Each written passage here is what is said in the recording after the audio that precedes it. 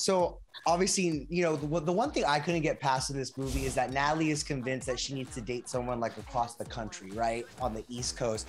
I know I personally couldn't do long distance, but Nina, obviously, I know that uh, Shaun is training for the Winter Olympics. How do you guys make it work being so far apart these days?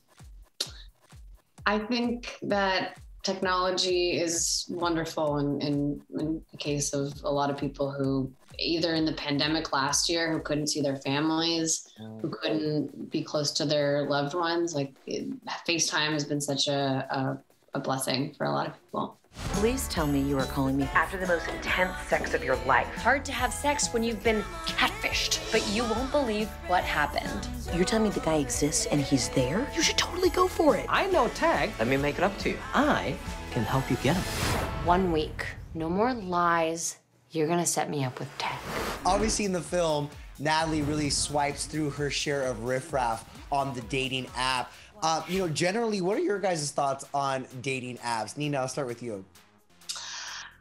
I have never been on a dating app, Lucky. so I don't have that many opinions. I, I, have assisted a lot of my girlfriends in creating their profiles, yeah.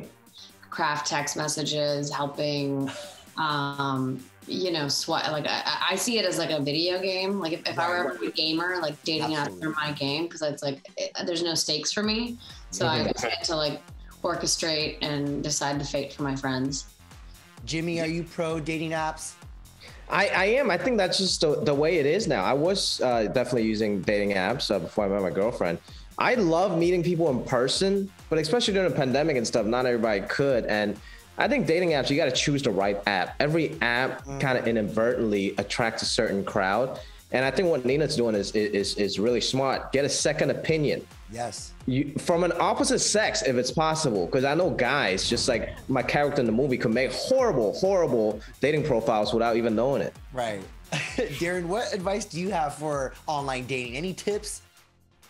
Um don't try to be too clever, I guess. I mean, I've only I've only used a dating app like once and it was like right after college and that's the honest truth. I've never been super into it. Yeah. Um, but don't try and be too clever.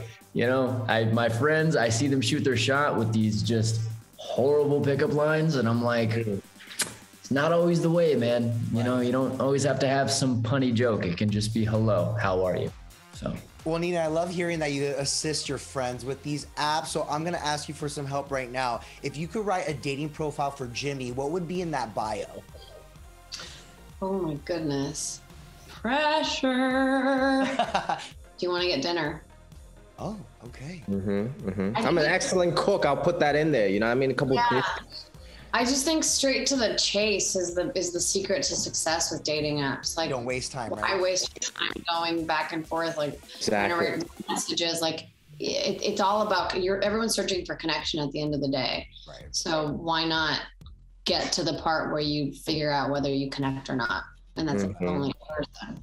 Jimmy, what would you write in Darren's dating profile? I don't think he, look at his face. you know, I think it just needs to be an up arrow pointing at his face. Be like, hey, this is the real me. This is the real me. Do you want to see the rest of it? You know, I think I think that that's the dating profile. That's it. Speaks I want to give you. I want to give you a hug, Jimmy. I miss you. I know. All right, Darren, your turn. What would you write in Nina's dating profile bio? oh. Shoot. Happy you know, or you know, like what you know, what what what do you think needs to be in there so it's a good sell? I think it could also just be an up arrow. Right. Right. Also, I mean, considering her current dating life, I don't I don't think there's much I think it would just be like pass Honestly, or just like I'm good. They would probably think Nina was a catfish. Actually, yeah, yeah, gotta catch to right. Has right. To. Will you guys help me settle it? Uh, is it better to date someone on the West Coast or the East Coast? I think West Coast for me. I love the East Coast, but only like maybe six months out of the year. Right. Uh, but I would say I, I didn't know this because I grew up in Hong Kong and then the West Coast. There's a cuffing season and it's very real on the East Coast. Right. I'm what? cuffing. Cuffing, cuffing season. season. What does that mean? See, you see, you so West Coast, you don't even know, Nina. I'm It- it's- not. I'm from Toronto. I'm.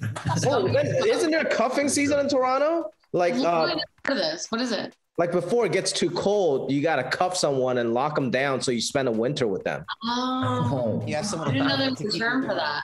Yeah. What is what is the Canadian term? No, no, I, it's definitely a thing. I just didn't know that there was a word for it. Second season. There you have it, folks. Darren, keeping it in the Netflix family, I want to know about Never Have I Ever season three. Have you had any conversations with Mindy Kaling or Lang Fisher about Paxton's path, or what are you hoping to explore in the next season? Zero conversations have been had Really? about that. Yeah. Um, obviously, we leave off with him and Devi finally, you know, We'll give it away. Are you here as my friend or as my. Yeah, Devi. You're gonna make me say it. As your boyfriend.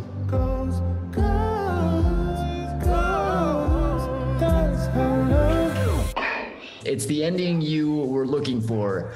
I think a lot of people were looking for at the end of season two. So season three is going to be exploring that. My character, it's the first time he's been in a serious relationship, and I don't know how he's going to navigate that, having been such a free bird. Um, especially with Devi, who is, you know, everyone, she's always been like below his social status, whatever that means. Um, so it's going to, going to be an interesting dynamic to watch.